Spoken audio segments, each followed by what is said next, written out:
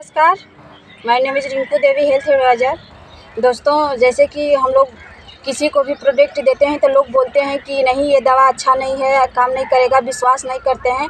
दो, दो दोस्तों मैं बताना चाहूँगी कि एक हमको ऐसे व्यक्ति मिले थे कि जो आठ नौ महीने से टाइफाइड मलेरिया से पीड़ित थे और जिस तरह से उन्होंने बहुत जगह दवा किए लेकिन उनको रिस्पॉन्स नहीं आया है तो आज जब हमने अपना दवा दिए हैं तो उनको क्या फ़ायदा हुआ है आज उन्हीं के मुँहों से सुनेंगे।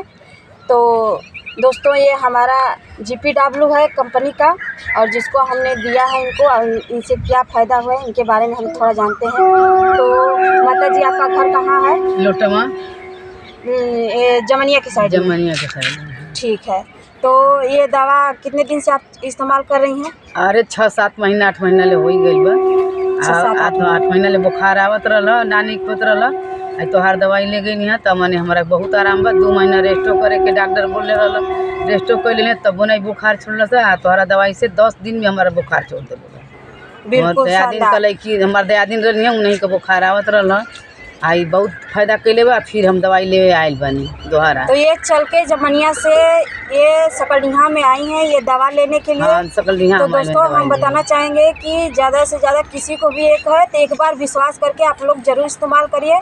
तो थैंक यू धन्यवाद दोस्तों।